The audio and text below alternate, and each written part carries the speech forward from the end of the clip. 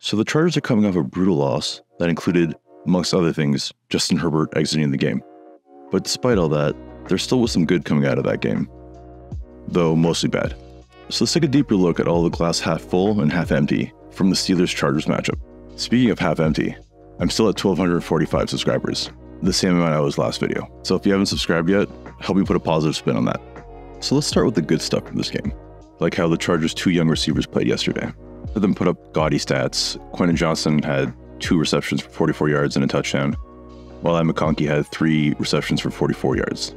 Those stats are nothing to write home about, but really it's about how they played, and more importantly, how they were utilized. And yes, Quentin Johnston's touchdown was more of a scheme thing. We knew that if you get him to bite on the flat, you can make a quick throw to Johnston. Thanks to that headiness from Herbert, Johnston was wide open, so it was an easy catch. But I do think he helped himself a little bit on that one. He did a good job of selling the fact that he was running a lazy clear out route and gave Herbert the right window to get him the ball before the safety came in. Again, most of the credit goes to Herbert on this one, but QJ has definitely showed some improved route running this year. Obviously, he's probably going to see some touchdown regression from this point. He's currently tied for the league lead with three touchdowns. But I can see his role continuing to increase from here, considering he's averaging over two yards per run, which is a solid number. So the eye popping yardage totals aren't there yet, but there's reason for optimism.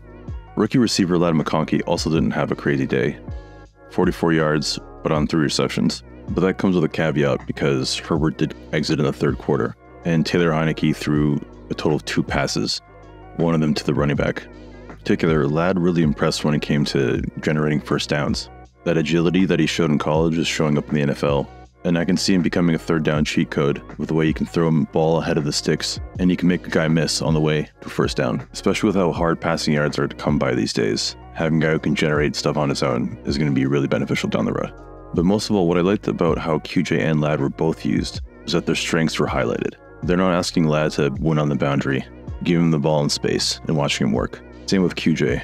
They're giving him the ball where he can see it, not making him run stop routes when his hips clearly can't turn around that fast. So the coaching staff definitely deserves a lot of credit for this.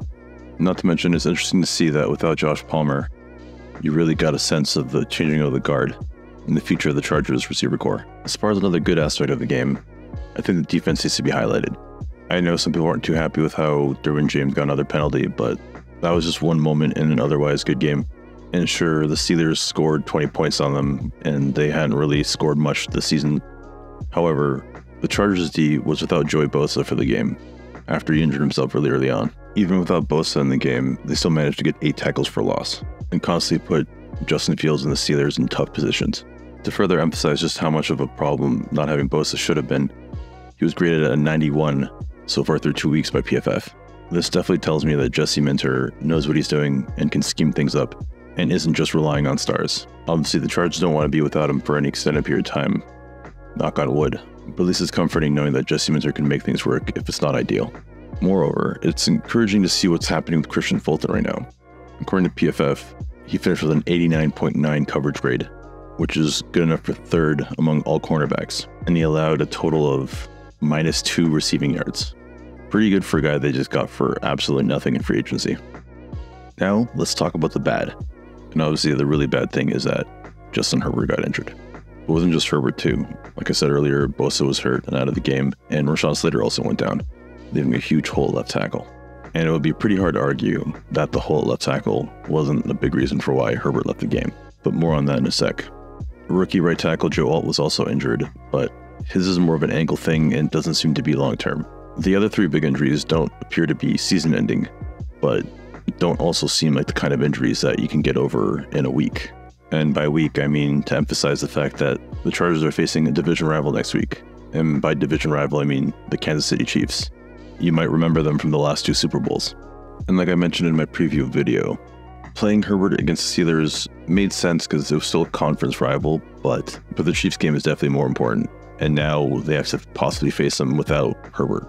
And even if Herbert plays, he's going to be quite limited and facing another stout defense in the Chiefs, and possibly facing them without Rashawn Slater and a hobbled Joe Alt. Who knows if resting him for a game would have made much of a difference in terms of his health, but I don't think it would have hurt. And now the Chargers could be facing a 2 2 start after starting 2 0 for the first time since 2012. Here's hoping Ben Herbert could work his magic, finally. One bad aspect I want to cover that I haven't seen really talked about much is the job that Greg Roman's doing.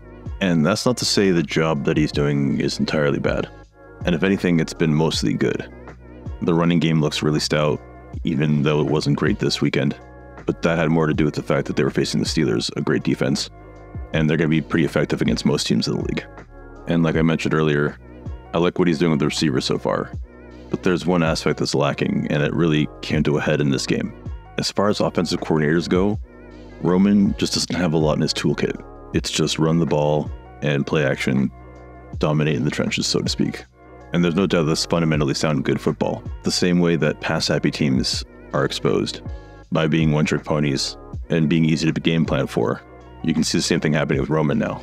Take, for example, the play that got Herbert injured, or I should say, re injured. It's a play action play where the linemen are trying to sell the fact that it's going to be a run play, but the rush isn't picked up, and Herbert, because it's a run play, has his back turned to the whole thing, and he gets absolutely walloped. On its face, obviously, running play action is a good thing most of the time, but you have to be a bit more situational. And in this game, when you're missing your left and right tackle and you're moving guys around, it just doesn't seem like the smartest thing to do to risk a misassignment from one of your backup linemen and put your star quarterback in a position to get re injured and I get running the ball. I'm not against it. Please don't tell me that in the comments because that's not the problem here. Same for play action. These are both great things that you can do. The problem here is Greg Roman showing that he doesn't have a lot in his toolkit. And then when things go awry, he still goes back to the thing that always seems to work, but it doesn't always work, like we saw. And I feel like this is going to be an ongoing concern.